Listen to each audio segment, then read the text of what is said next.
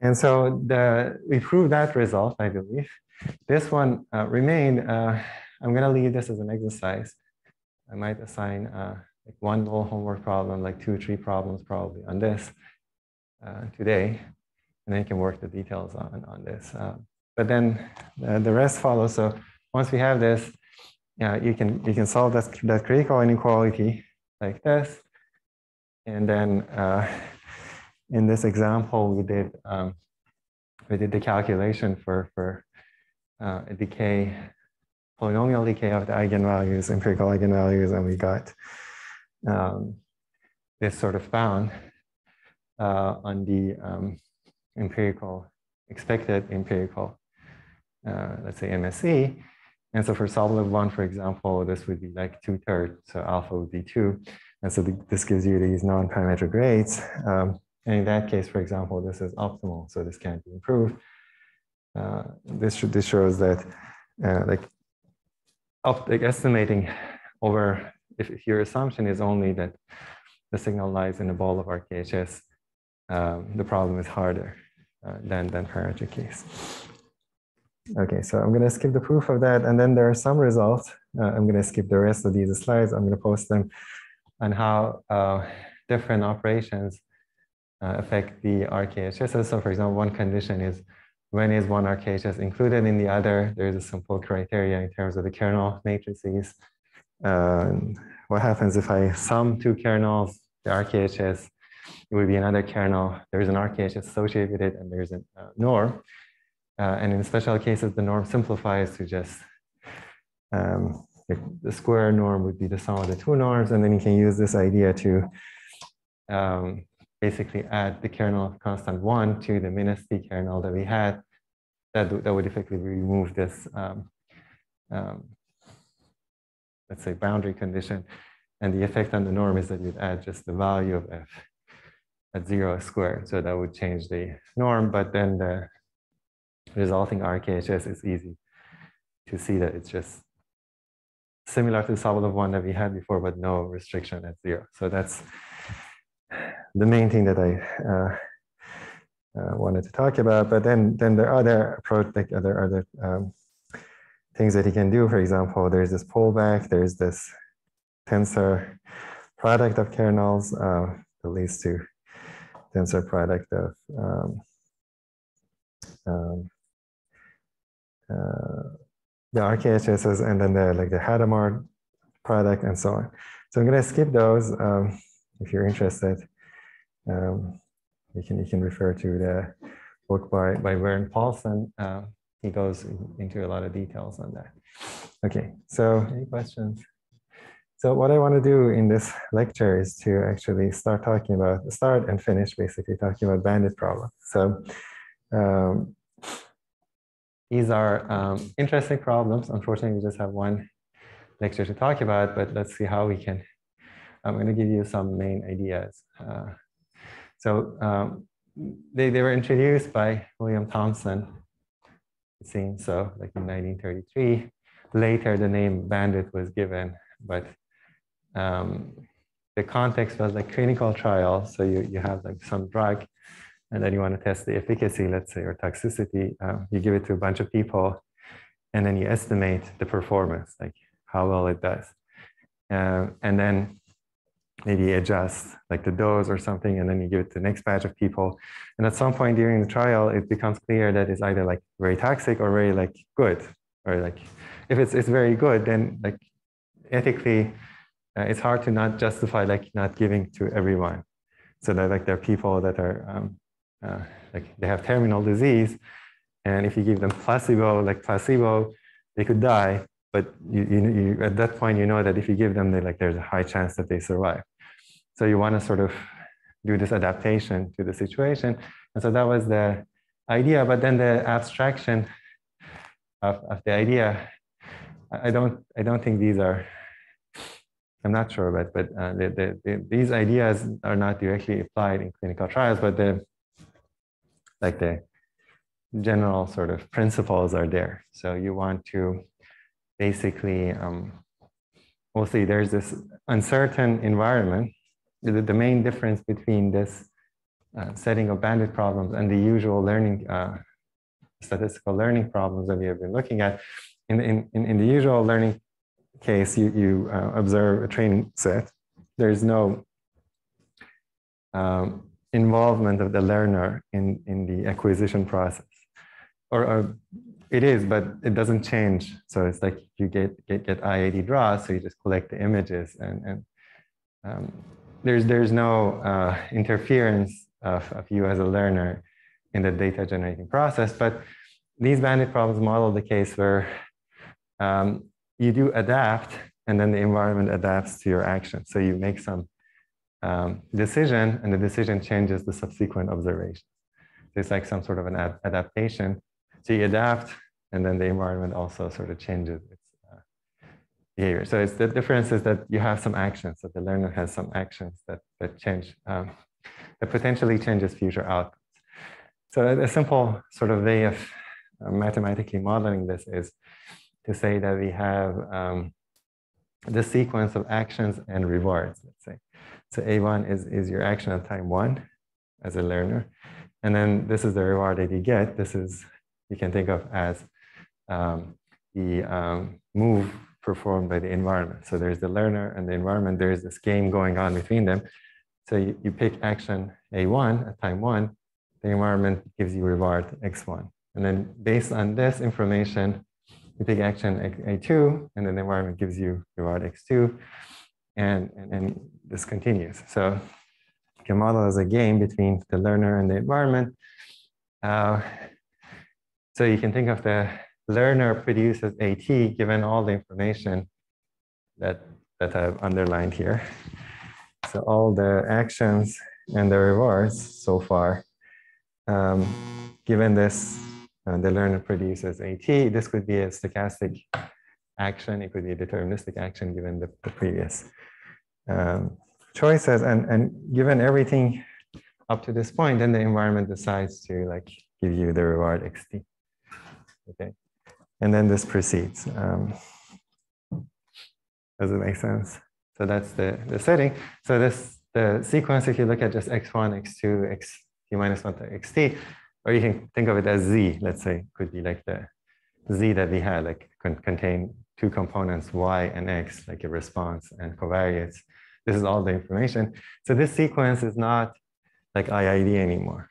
So it's complicated in general, depends on the previous actions. So your action, your actions have changed the uh, sequence of observations that you, you see. So um, there's a simplification of this model that we uh, usually make. Um, okay, so question. Uh, so are we saying, so that's that's the, the good good question. That's what I'm going to do. That um, so that's the general setting. But but you know all the things that I'm going to discuss, we make the simplification that the environment is is not does not does not base the action on uh, but base the reward on the history actually. So that's that's the next slide. Good question. So uh, so let's say sigma t minus one uh, sorry, FFT minus one is the, all the information up to time t minus one, including all the actions and all the rewards. This you can define as formally as a sigma field. So the action is based on all the information. So that's the, let's say this information up to this point is the sigma t. Sorry, this is ft minus one. Um, so the action, uh, you can think of it as uh, AT given FT minus one um, is, is produced by a stochastic um, choice, which can be formally represented as a probability kernel or Markov kernel. So given this information, have a distribution that tells me what the next action is, and this distribution could depend on time t. So this is the most general that you can think of. Um, and then uh, the sequences of these Markov kernels or probability kernels, uh, this is this is called the policy of the learner. Okay, so yeah, pi one, pi two. What what should I do at, at time one? What should I do? So this is like the policy or the blueprint that that you um, choose to like pr produce the next action given the information at that point. For the environment, we're just going to model this simply as um, the reward given all the this information in AT. So this and AT, you're just going to assume that conditional on, on AT, the reward is independent of the past. So that's the simplification that Said also was, was pointing to. So the reward given everything and, and the action is just going to be P of AT. So uh, it's just going to be dependent on AT. Um, and so it's, it's coming from one of these distributions, P sub A, where A is the action, and action belongs to some action of space. Usually for us, uh, this is just in this lecture, just going to be K. Uh, sometimes it could be like some of the results, it could be countable as well but oftentimes it's a finite set. And usually in that case, I, I write like nu is just P1, P2, da, da, da, Pk. So there are k distributions. Um, these are the distributions for x. And so given that I took action AT, I'm going to observe a sample from P8 sub AT. Okay. So if action AT was 2, then the environment draws something from P2 and so on, right? So basically this is saying um, xt given at is independent on the past history, basically. Uh, and basically the uh, distribution of xt given that at is equal to i, let's say, or a, is, is pi, something like this. Um, or A if you want. Okay, does that make sense? Um, so there are some, um, so, so if you think about this, this um, sequence, um, even if the more general, we, we consider more general case of the environment, if I specify xt given ft minus one and at, um, either the simpler model or the more general model, this would define a joint distribution on, on this sequence. Okay, so let's say I, I have the sequence up to time n, I have a fully specified joint distribution given the, these policies and the uh, procedure by which the environment chooses the uh, action. But let's say in this case, so this given the past and then this given these two, this defines the joint distribution. So from these, um, so you see like, in, like if you if you fix the ft minus one, you're fixing this, you, you observe like at and then xt given at. So this defines a joint distribution. Um, xt at given ft minus one.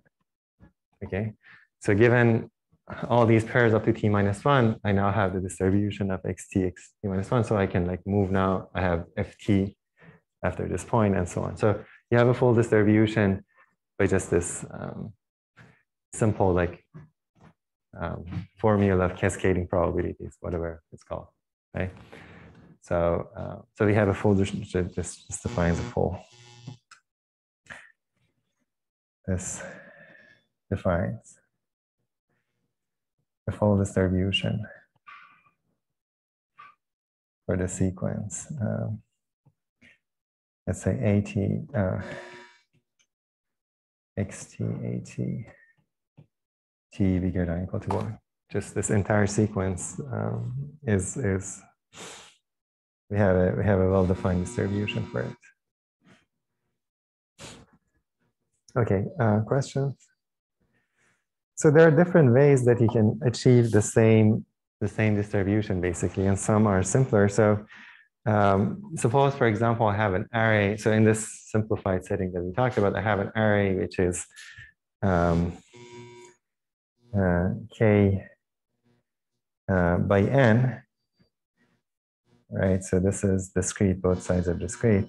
So let's say k is 3, for example. So I have these um, independent random variables, and all the elements in the ith row, all of these are drawn from pi. All of these are drawn from p2. All of these are drawn from p1. All of these are drawn from p3. So one thing that, that could happen is like the way that the environment selects the reward is that uh, at time, for example, one, I have the action um, a, a, a, a1 is one, for example, and so the environment picks this from the array. So these are all independent. And then at time two, the action is three, it goes and picks this up. And then the action the next round is three again. And then, so, so you, you can output this sequence of um, rewards from this. Uh, uh, you can think of it as a table. Um, so this, in, in this book that I'm going to use, uh, this is called uh, random table model. So xt would be x sub at and t. Okay, so this is somewhat natural. Um, there's another way that you can view things that um, we have the same uh, model, the same the same array, but I'm just going to stack all the rewards. Um, like I'm to pick everything from the top of the stack. So for example, the first, the first action is one. I'm going to pick this, okay? Um, and uh, for the second action, which is um, uh, the, the, the, the, the, so at, at time two, uh, instead of picking this guy, I'm going to just pick the first, the first guy here. So it has the same distribution, right? And then the next round, I'm going to pick again this one. Uh, the next round, I'm going to pick um, the action is two. I'm going to pick this, and then at the next round, and I'm going to pick uh, this. Okay, so you just go sequentially. I mean, there's um, the way to like formally show that these two models are the same is to just verify that these conditional distributions remain the same. So this part, the action given the past, um, is, is the same because we haven't changed the policy. You just have to verify that this, this step is, is true and, and this is going to be true, the way that we constructed things. These are independent. So this stack of reward is going to be simpler in some analysis. Uh, it's, it's harder to write down. So this TAT is um, uh, TA let's say t sub a, I'm going to write it as i for simplicity. TIT is just um, uh, basically, let's say s from 1 to t indicator uh, at is equal to i. So this is the how many times up to time t you've uh, taken action i. Okay, uh, the time t um, the the observation, like the reward, would be the I'm going to go in that row and then pick uh, basically how many times. So this is the second time that we're picking arm two. I'm going to pick the second element from that. So this is stack of rewards model is what often people use in analysis. And if you have this other model in mind, it might seem strange, but but the two models are the same. So you just have to verify that the joint distribution that they produce uh, is the same and basically just giving some thought is just this step is the same. And the other step is of, of course the same because uh, this has nothing to do with, with how you choose um, sample X, X's. Okay, sounds good. Any questions? So um, what is the goal here? The goal is sort of to maximize the rewards, the sum of the, the total rewards, basically. Um, basically, the, the uh, sum from t equal 1 to n of xt. Um, and actually, the expected reward um, under, under the full distribution that we have. Um, uh, instead of doing like maximizing this, usually minimize this other quantity, which is called regret. Um, this is equivalent if you try to maximize this uh, or minimize the regret because this, the first term is constant.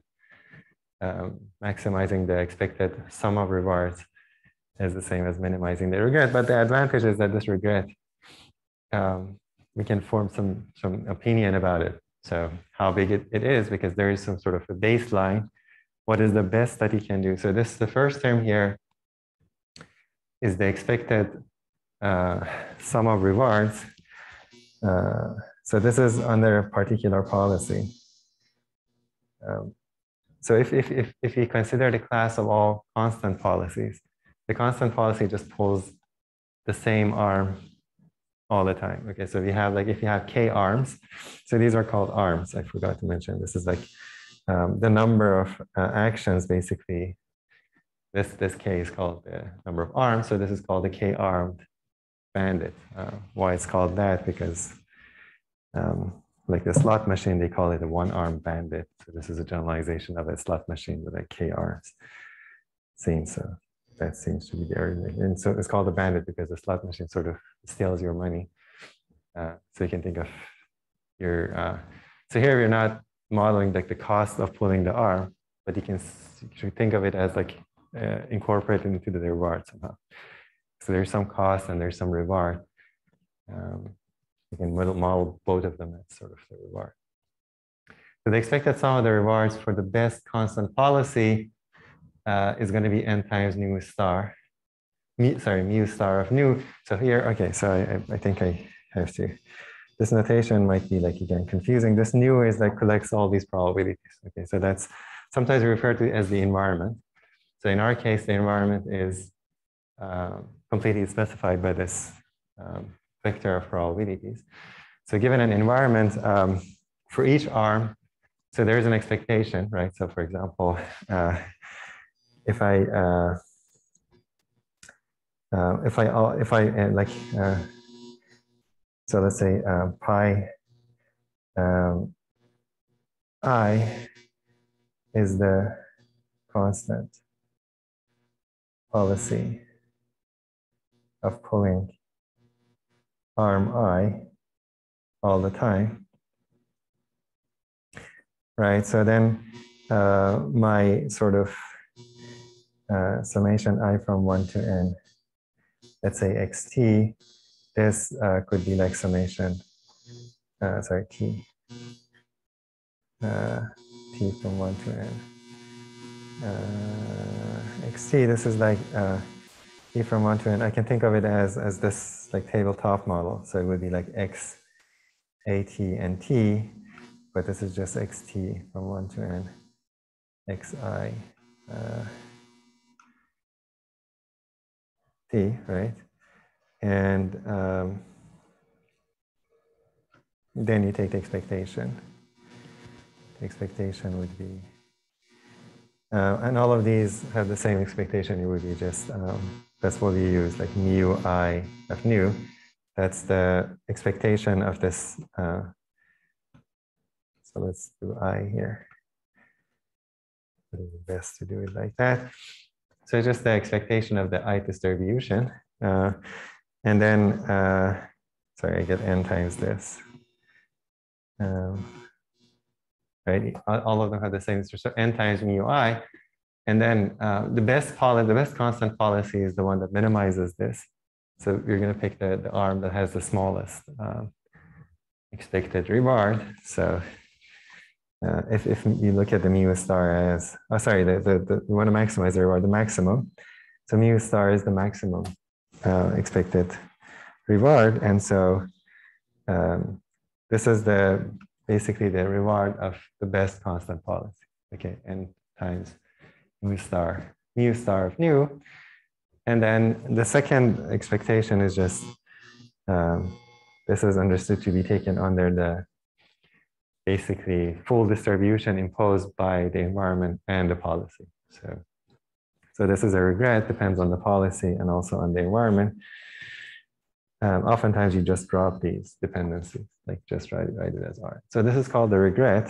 Uh, basically the difference between the expected, so this is the regret with respect to the class of constant policies. You can define the regret with respect to other classes of policies um, by, by picking like but by saying what is the best in that class of policy and then subtracting the expected. So, but this is this is like the tra traditional way of doing it relative to the class of constant policies. This is the regret, and um, what you can do is is you can ask what is the best possible like uh, regret that I can get. So intuitively, what we want to do, like from if you like seeing the statistics, like the statistician would what what would they do is like they pick a class of environments a set of environments, the, the worst case over the environment, and then the, the smallest policy, like the policy that minimizes. So the minimax policy, basically.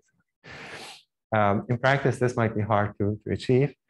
Uh, so you would like settle for something like um, for, for a given class of policy, like environments, you want the regret to be um, not going. So the worst case that this could have, like, the worst case would be off being like uh, increasing linearly with n. Okay, so you, you pay a constant. So the, the arm that you pull, which is suboptimal, um, if you keep like pulling an arm, like just, just randomly pick one arm and try to pull it, if it's the optimal arm, the get would be zero. If it's not, then there is some sort of gap in the expected rewards. And so your regret would grow like n times that gap. So the worst case is like n times, like the naive thing would be n times um, delta. Delta is the uh, difference between the expected reward of the optimal arm and, and some other arm. Um, but, but there could be policies that, that do better than this. So you generally want policies that, that whose regret grows like O of n, little o of n. So the, the regret is so-called sublinear. So divided by n goes to zero, so you don't pay much. Uh, so better than just, let's say that, but then there's some sort of question of optimality, like how, how small can this be? So can this be, for example, big O of one? That, that can't be, but can it be like log, log n, or can it be like root n or something like that? Um, we'll talk a little bit about that. Um, but you want this to hold for any nu in, in epsilon, let's say, or for some nu in epsilon. For some nu, it would be easier, but um,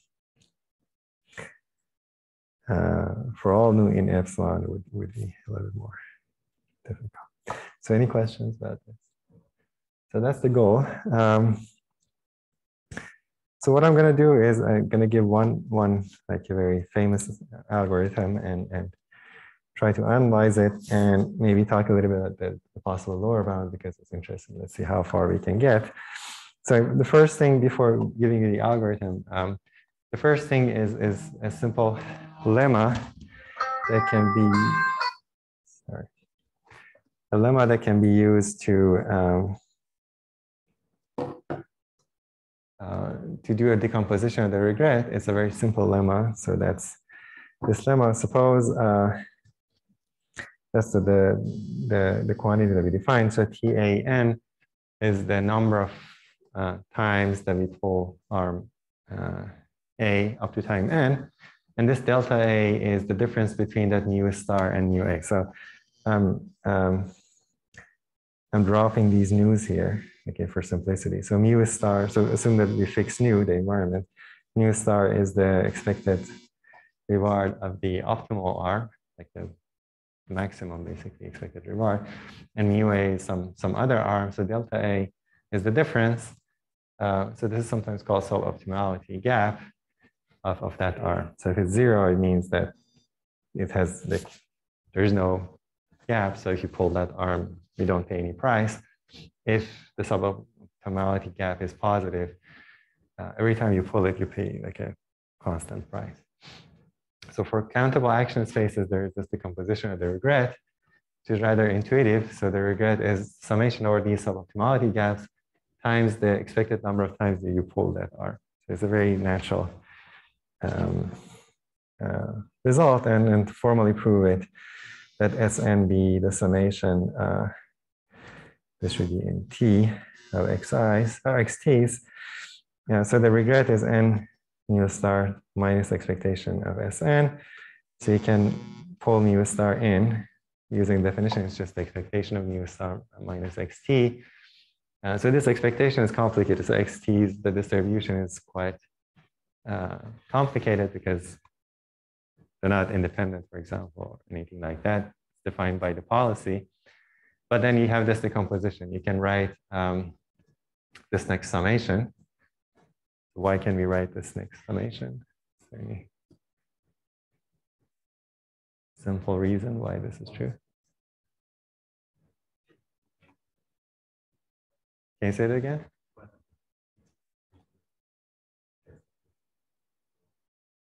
Yeah, okay. Yeah, so another way of seeing is just that what I'm doing is if you move it inside, this goes inside, um, basically summation A, 1 AT equal A. This is just one. Okay. Um, the action at time t is one of these. And then I'm just replacing that one here. This is times one with that, and then pulling the sum out. Uh, so now we have this expectation here. I can condition on the action at time A. So what we're, doing is we're computing this uh, first condition on, on AT. So if I condition on AT, this indicator comes out because it, it's just a function of AT. So the indicator comes out. I have this expectation, right? And I'm claiming that this is equal to mu star minus mu of AT. So why is this? This thing is equal to this summation. Sorry, this, this quantity.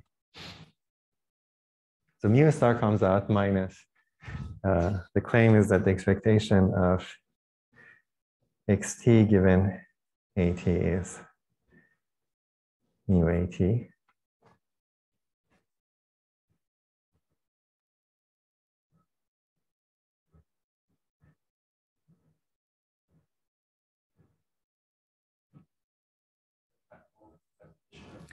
Yeah, it's just that it follows with the definition of the way that we, we actually define the, the environment and the mu i. So conditional distribution of xt given at is p sub at. So if it's like problematic, you can think of it like this. Basically, xt given at equal, let's say, i or a uh, is pa by definition. So expectation of xt given at would be the, the, the mean of this distribution, which, which by definition is mu a. And then just we replace little a with just at. That's, that's how things work. And so that's, that's true. Uh, and then this is the suboptimality gap. Um, this is delta of at, but I can replace at with little a here. Why can I do that? Yeah, because of this indicator, I can do that.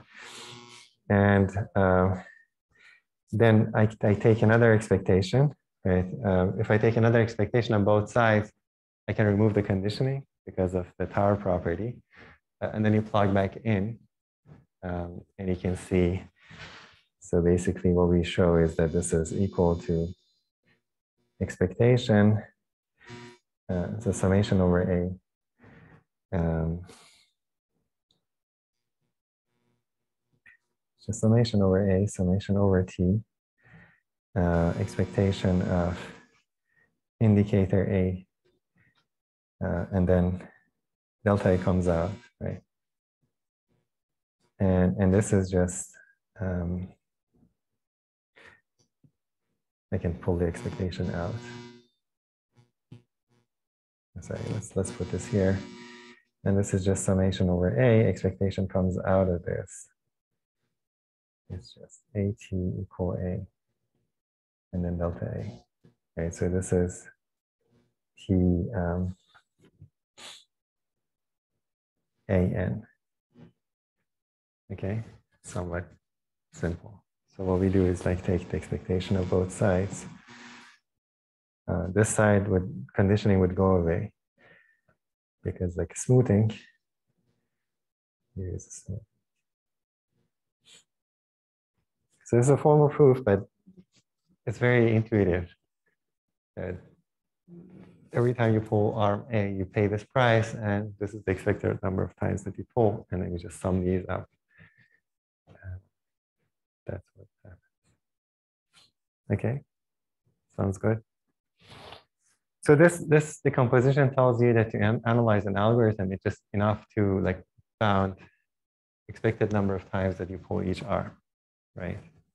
This delta A is deterministic. So the complexity of analysis of a bandit algorithm would, would be to bound these um, expected number of times that you pull an arm. And uh, the, the main point is we don't want to pull. So if, if delta A is zero, so there, there could be multiple arms that have the same reward as the optimal arm. So there, there could be multiple, like multiple optimal arms. So for those, you don't pay a price. So you just, this would be zero. So you only have to bound the um, number of times that you pull suboptimal arms. And you want that to be like off, little off and not, not, not too many times. So eventually you want to settle on the, um, the uh, um, optimal arm. So now let's talk about algorithms. So what is what are some algorithms? If whether you have seen it or not, what is some sort of natural algorithm to follow here?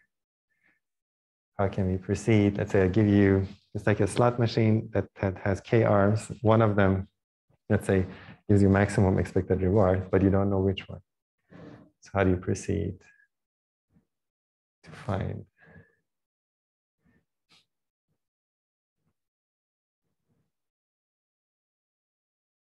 like online people can also chip in.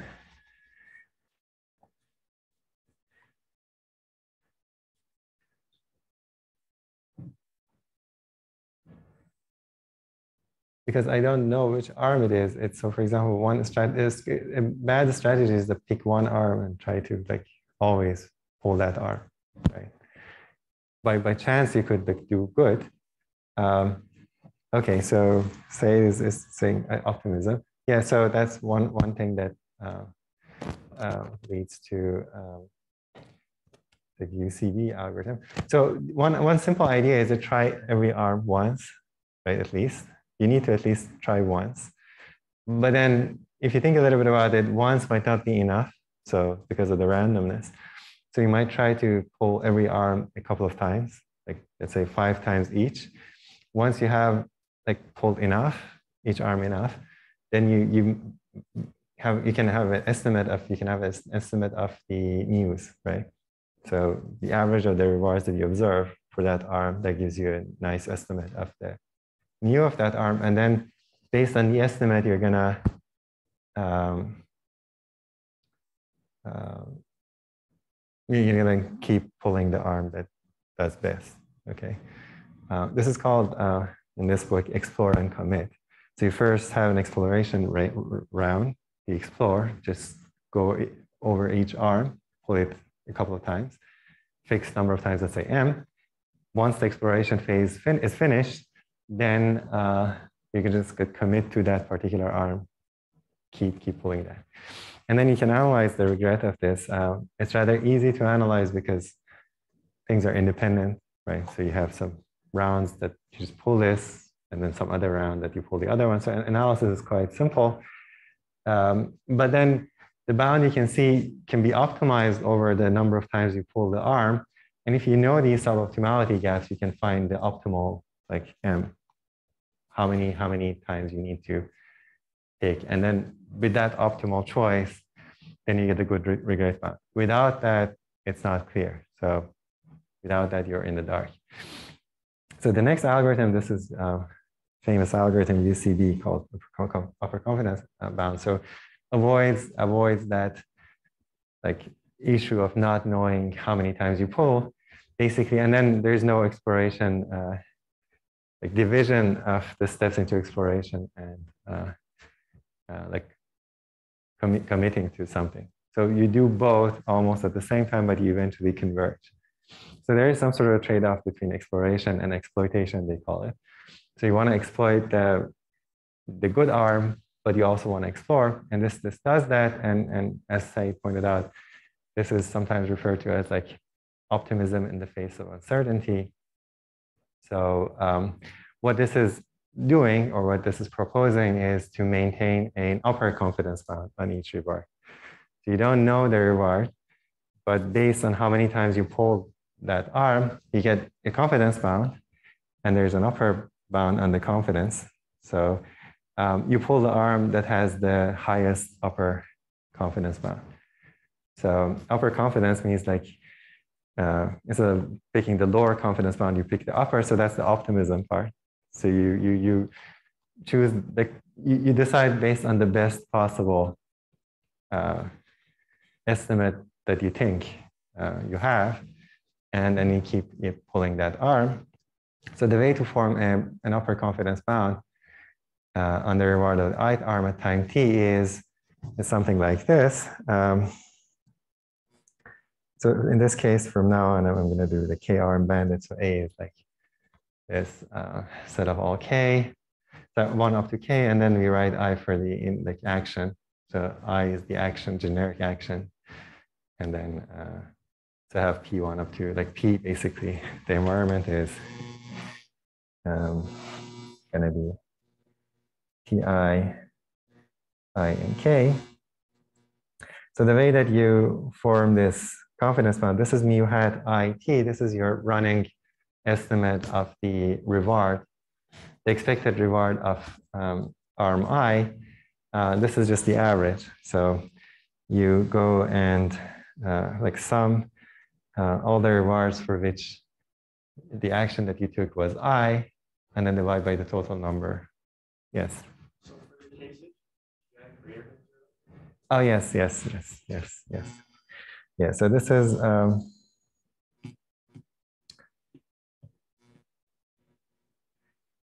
uh, so this is the mean, uh, and then this part um, is is is a confidence bound that you get from Hoeffding we're going to assume, for example, we're going to prove a result under the assumption that these PIs are sub-Gaussian. Um, so let's say these are sub-Gaussian, let's say they're bounded. Uh, the randomizer bounded in zero, one. Um, let's say, or the variance is one, or like the sub-Gaussian parameter, let's say is one. We'll see, it's like easy to write down the Hoeffding bound. Um, with probability, this, this would guarantee that uh, so let me go maybe back. So anyone remembers the Hoeffding bound? Maybe. Suppose I have, let's say, um, uh, y1, y2 up to y uh, m, right? These are sub-Gaussian. Um, you're assume sub-Gaussian with parameter 1, let's say. Okay, uh, y bar m is 1 over m summation i from 1 to n yi, the probability that y bar m minus the expectation of one of them, let's say, uh, the probability that this is bigger than, um, let's say, alpha. Anyone remembers what that would be?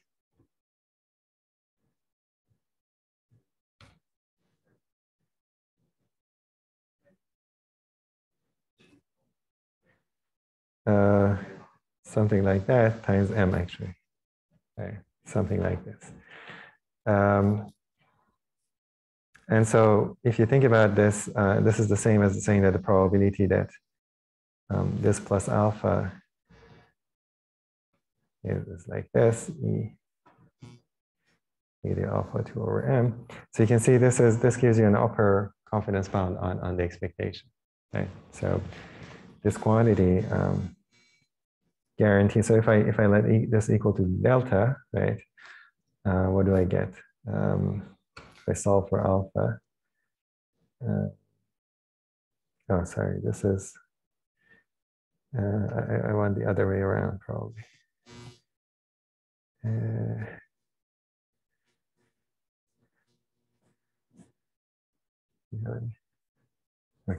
so let's see. Um, I want this to be the other way. Probably that this is less than negative alpha, right? Um,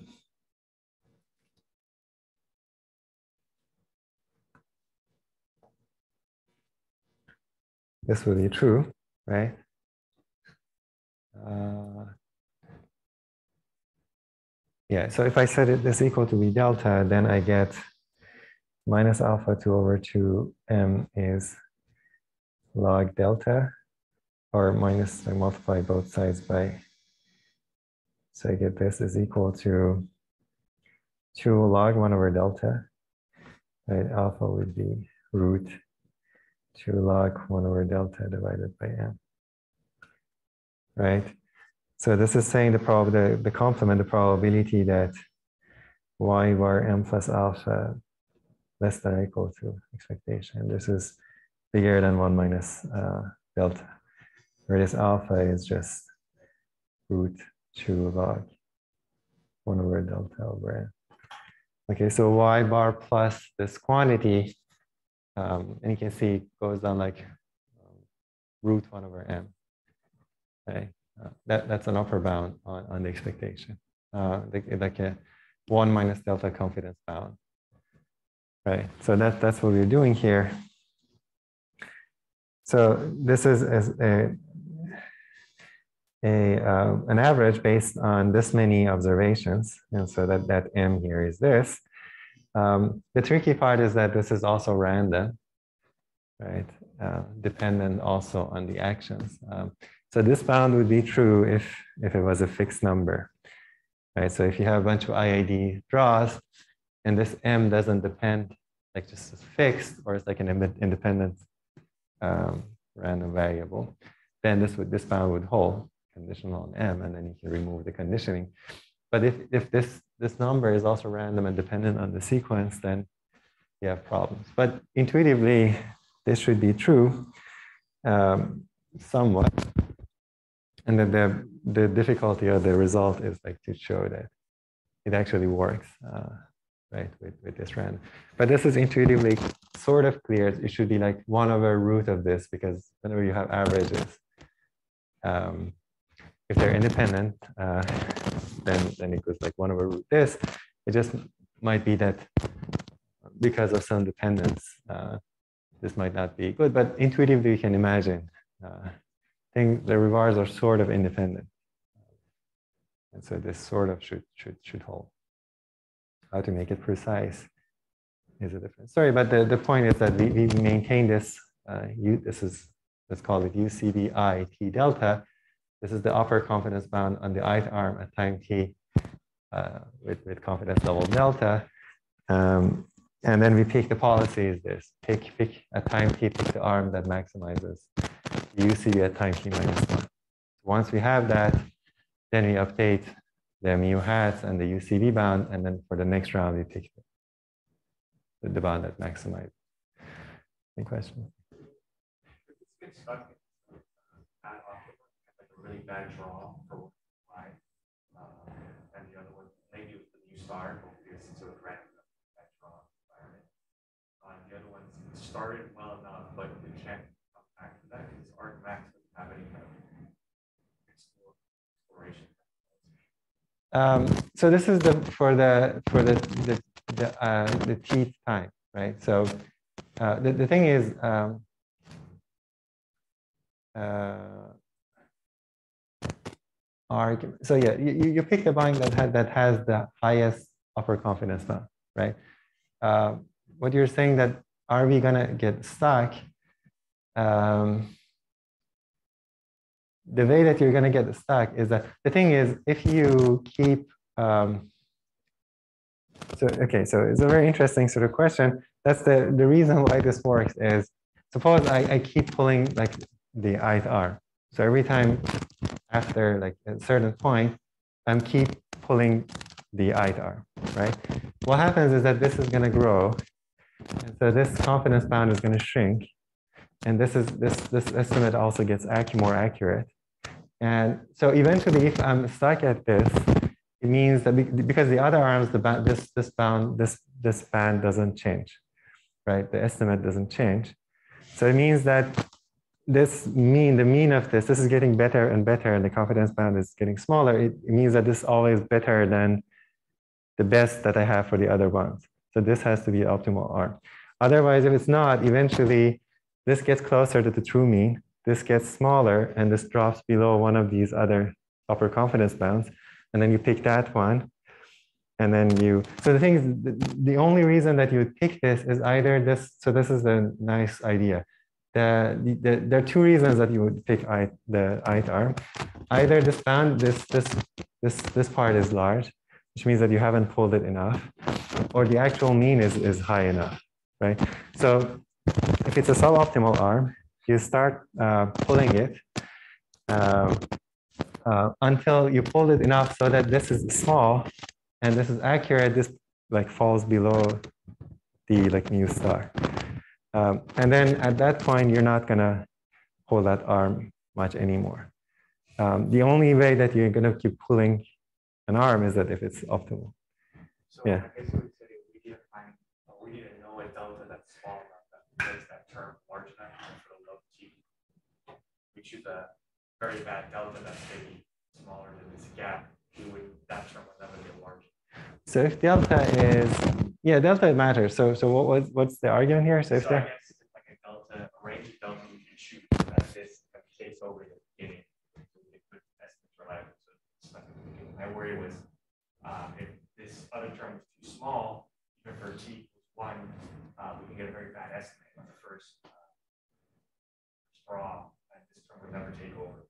The other one. uh, oh, you're saying um, for um, Or I guess uh, in this case, would be uh, small or large, whatever makes this term not. not blow up. So making it smaller would would make it bigger, right? So you wanted to make it large, delta large. If your first draw is really bad, is there a Yes. chance that you just never pick that up again for backup? So one, okay, so you pick like one arm once, and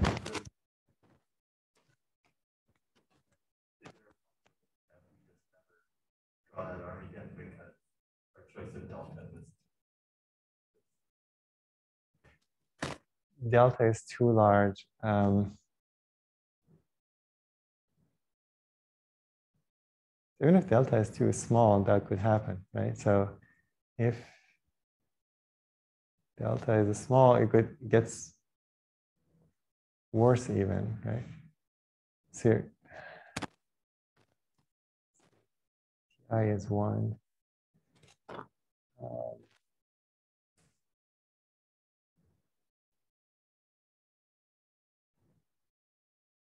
You're saying this is like the optimal arm. It produces a very bad first. Uh, and then the other ones would, would you're never going to pick this arm.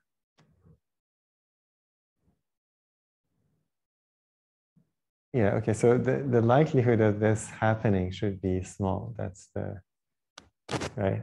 The, the, the, okay, it, it's, yeah, possible. But the point is the, the likelihood that this being bigger than every other arm uh, and like remaining bigger than every other arm, that should be small. Like this is like, um, because we're looking at the expected regret, right? So it's like the expectation, it's not under all circumstances. I think if delta is too large, then the UC algorithm can only converge to some arm that is.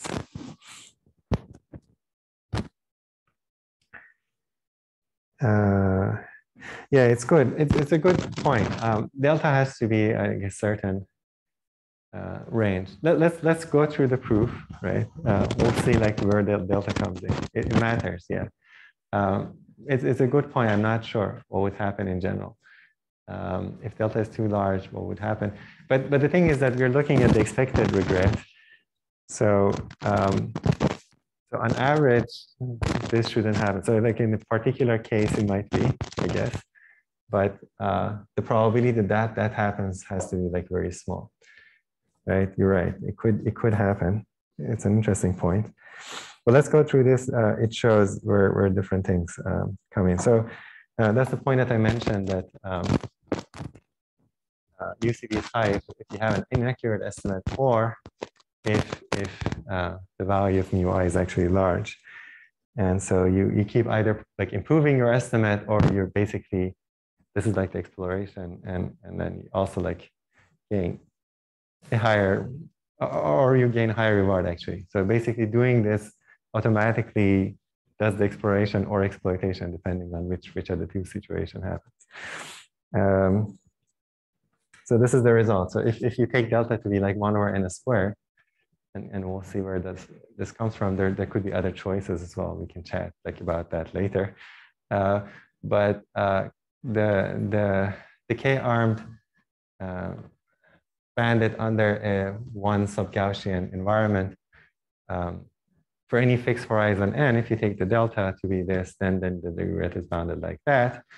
Uh, so this part is uh, sort of the sum of these suboptimality gaps. This is sort of unavoidable because you have to fill pool like each arm at least once. So up to a constant, this should be there. Uh, and this is saying that uh, if, if the deltas are fixed, this is saying that regret grows like logarithmically, which is, which is very nice in n. So you get, um,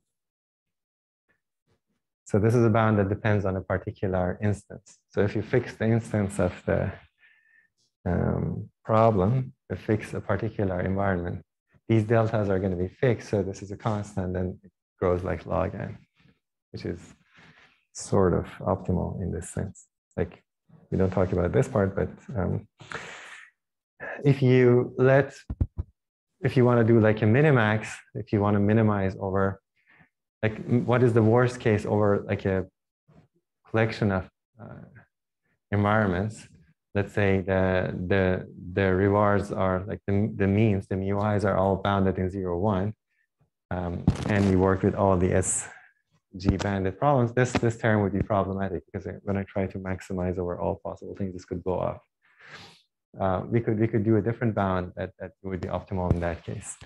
Uh, I'll talk about that hopefully. So let's go through the proof. Um, the proof is very interesting, like the way that, that uh, it's a little bit non-intuitive, but the, the point is we're going to work with this stack of rewards model. And um, so the reward at time t would be, uh, if you recall that stack, uh, basically um, I have the stack and I'm just picking uh, from the top of the stack for different arms, right? Uh, and so if I if I look at let's say um, basically the average up to time t um, of of the ith row of the stack, that's mu hat it. So this just sums over uh, the first t elements of the ith row. Uh, and then I also define a UCBIT, which is uh, basically the upper confidence interval based on uh, this, this T samples. Okay, so this is deterministic. There's no, uh, there's no, like this part, the, the upper, the confidence bar, band is uh, deterministic. Okay, so what happens is that the actual mu hat i uh, is going to be the mu hat uh, the, the, the endpoint is not known, but the, the endpoint at time t would be TIT, how many times I, I pulled that R.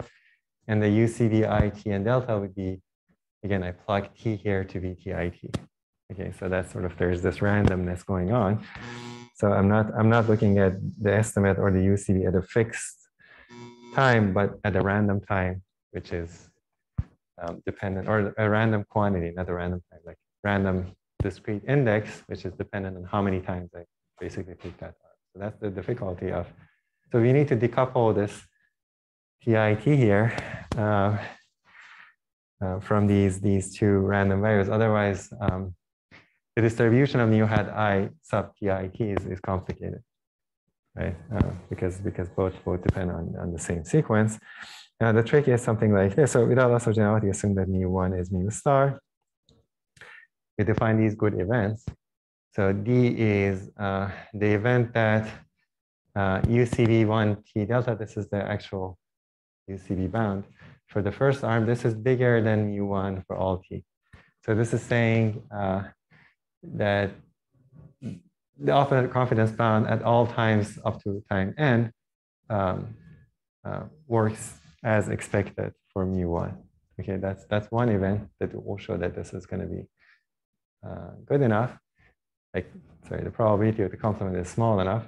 And the other one is that under this event, um, we assume that the, the additional good condition is that UCBI at some UI, which is to be determined, this is a deterministic index. And so we go, for each arm, we go uh, up to a certain depth. right? So this is like U1, this is going to be U2, this is going to be U3. And the, the UCB bound up to that depth uh, is going to be below mu1. Okay, so, so at that basically, let's say index or at that time point, it's not the time, but at that index, we have a good UCB. So this, this drops below the mu1, so we're not going to pull those arms anymore. So the main, the main idea here is that on GI, the number of times, so in this event, the number of times that you pull arm I is bounded by UI. Um, it's sort, sort of intuitive because uh, once you hit this, if Ti hits mu, mu i, at that point, this, this is going to drop below this. So you're not no longer going to pick it. The, the issue is that I can come back and pick it more, right? But, but there's this little, uh, okay, can you remind me? Okay, mu1 is just, um, so these are the expected. So this is expectation, expected reward. Reward for arm one.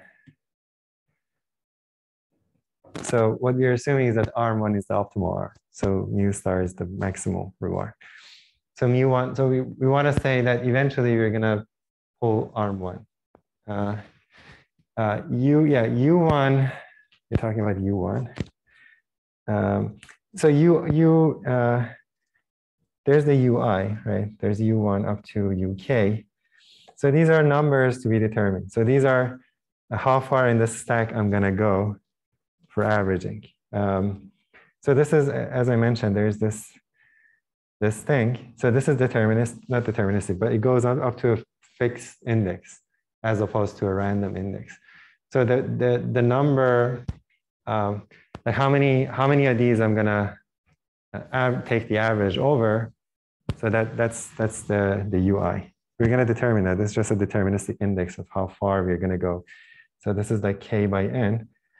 What I'm gonna do is that in each uh, row, I'm gonna go up to a certain depth, let's say, and, and then average those and then com compute the confidence bound based on those.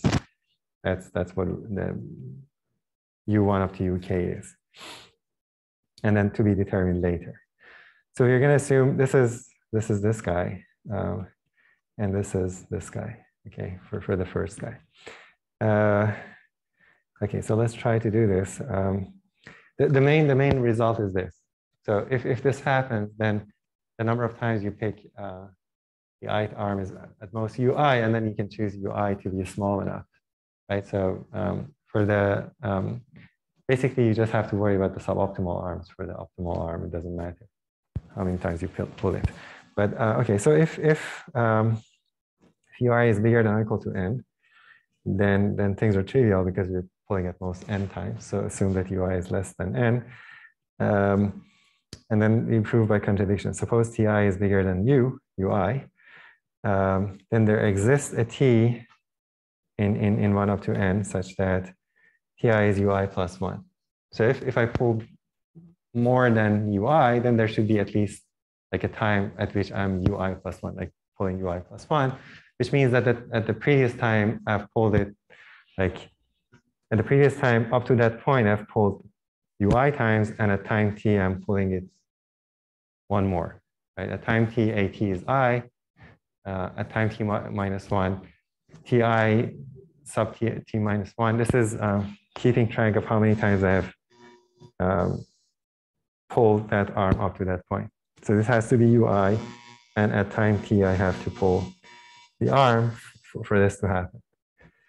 Okay. Um, like not not for this is the first time basically the first time that this happens and, and the first time that this happens that that happens so let's, there exists a t let's call this there exists the smallest smallest t the first time that that we hit ui plus one um, these two other conditions have to be satisfied then ucbi at t minus one delta uh, that's the confidence bound at time uh, t minus 1. This is by definition UCB i t i t minus 1. So this is uh, my notation for this, right? So the UCB, this is by definition, right? UCB um, IT and delta is UCB IT IT. So this is by definition equal to that. Uh, by assumption, this is equal to ui. Okay. And um, on there, the good event, this is less than mu1. And also because we are under, so GI includes V. So this is also V less than UCB1 T delta. So if you just look at these, these um, the main point is that um, for that particular T, this random UCB would be just the UCB of um, IUI at that deterministic point. Uh, and because that's less than mu1 on the good event, and, and mu1 is less than the UCB of the first arm, that it means that uh, at that point, at t minus 1, the UCB bound on the ith arm is less than UCB1, so we couldn't have pulled the ith arm. That's the contradiction. Uh, question? Do you have any questions? So it's, it's the tricky, this is the tricky idea, how to decouple basically. Uh, you, you show that if this happens under this good event, um, um, if, if you pull more, then there's this contradiction. So you couldn't have, this is by the definition of the UCB, uh, the action at time i cannot be the arm. Sorry, the action at time t cannot be the arm. So there's a contradiction, so that, that should hold. And so the rest is sort of um, controlling these probabilities and then using the regret decomposition. Let's do it quickly. Um, so if you go back to the proof, so we have the lemma. Now let's control uh, the probability of the complement of these two events. The complement of D would be, um, so this is saying for all t this has to hold, so the complement would be there exists a t for which uh, the UCB of arm i goes below the expectation. Uh, this is by definition what, what I had there. So it's UCB1 uh, at, at that index, and then this, this would be equivalent to saying that um, uh, so there exists a time for which this happens is equivalent to saying there exists an S in N such that UCB1S. Uh, so this happens. Uh, so, so if you think about this, um, what this UC this is doing is that uh, this is saying um, so we have UCB for every uh, element here. The, the actual thing is that we, we, we choose some of these. So this UCB, this guy is basically some of those UCBs, right? This is UCB at index, for example. At time t could be like we pulled it uh, once, and then at time. Um, uh, so it's it just goes up to. Um, I made it Uh, so it goes up to like UCB1S up to the maximum times that you, you pull this R. So it would be like uh, one, two, at most like N. So, so it's, it's, easy to argue that this is the case. So there exists an S such that that holds. Now these are deterministic UCBs, so we can, we can work with. Um, so then the probability that uh, DC happens uh, is less than or equal to summation s from 1 to n, the probability that one of these happens. Um, this is just a Hoeffding bound, okay? This is a Hoeffding bound based on, so these UCBs are like deterministic. So this is just a Hoeffding bound. By Hoeffding bound, this is going to be bounded by delta. And so this is going to be bounded by n delta. Okay, so the tricky part is, again, translating this random UCB, like doubly random UCB to this singly random UCB. Um, so that's the case. And then for the other one, um, so the complement of this event uh, is saying that UCB, uh, the ith arm at uh, index ui is, is less than mu1. So the complement is this, the probability, this is, this is the complement, right? Uh, I'm gonna subtract, so UCB IUI is just mu hat i ui minus um, a plus root 2 uh, log 1 delta ui. Um, so the probability that this is bigger than mu one, I'm going to subtract uh, mu hat i from, so mu i from both sides. Uh, that's the same as actually this is equal to this. Uh, this, this side, this is going to be delta i. That's this. Um, so I get the probability that mu hat i u i minus mu i uh, I'm going to move this to the other side, this to the other side, uh, bigger than mu1 minus mu i minus root 2 log 1 or delta ui. Uh, this is this is delta i. Uh, I'm going to assume that this is at most c delta i. Or sorry, this is uh, at most uh, 1 minus c delta i. Okay, then then this is this is going to be bounded by the probability that mu hat i ui minus ui is bigger than c delta i. So I want the basically the, the gap here um, to cover this this error. So uh, what we're going to assume is that the gap, basically this guy, uh, delta i minus the confidence bound is bigger than c delta i. So our um, confidence bound is basically, um, it shouldn't, it shouldn't be like bigger than the, the suboptimality gap for, for this to, it's, it's sort of intuitive if, if you write it down. Um, so in the end, if, if this condition holds, so I, am going to choose UI such that this holds. This is where I'm going to choose UI. And uh, if, if UI holds, then this, this, this is going to be the case. So this is going to be bounded by that. And this is just, again, a deterministic Hoeffding. So it's going to be bounded by uh, this squared. Um, this is going to be bounded by uh, e to the negative. Uh, how many how many elements we're adding up or taking uh, into account into the in the average that would be this. It's ci delta squared over two. Uh, and uh, then you can go and check that. So, so if you put, put, put everything together, so the probability of the complement of this would be the complement of this plus the complement of this. That's the uh, union bound. So you get n delta from here uh, and the other bound that we have here. Uh, and then you can also see that this condition, um, the smallest ui would be, you can calculate it, it would be something like that. Um, Okay, so we have the UIs that we want. We don't we don't want UI to be too large. That's the upper bound on the expected number of arms on the good event. So UI calculate from that. Uh, we have this upper bound. So you now plug in everything here. So the expectation of, sorry, I'm gonna move a little bit fast. This expectation, I'm gonna split it into the indicators of GI and GI complement. Uh, on the first good event, this is the lemma. This is going to be bounded by ui. Uh, on the bad event, we're going to bound it by n. So you get n times this complement of the probability, like the probability of the complement of the event, which we have. Um, you plug it in here, okay. Um, and then I have the ui's. So you get you can see there's this n here outside, and then there's this, uh, and then I plug in the ui's from that uh, expression that we had here. Um, and so you expand, sorry, expand, you can see that there's this n squared delta here. So delta appears there.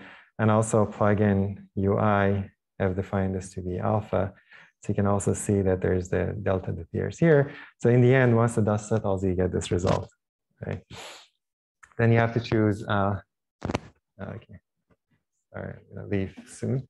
So with the delta, so if, if delta is uh, like larger than one over n squared, this is gonna produce a polynomial term. So, so we kill that with, with delta one over n squared. And then you can also see that uh, this would be like n to the one minus two alpha. Uh, so you can take alpha to kill that term as well. There's, there's some choice here that alpha equal to one works. Um, and so these would be constants uh, and then I add one to remove this bracket here. Uh, so I get three here, and then once you put like plug in delta like one over n squared, you get 16 log n over delta i, and then you plug back into the regret uh, decomposition, which is this. You only need to do it for delta i's that are not zero. Um, one of these delta i's cancel out here and get a delta i, so you get this result. Oh, sorry, you get the result. Okay.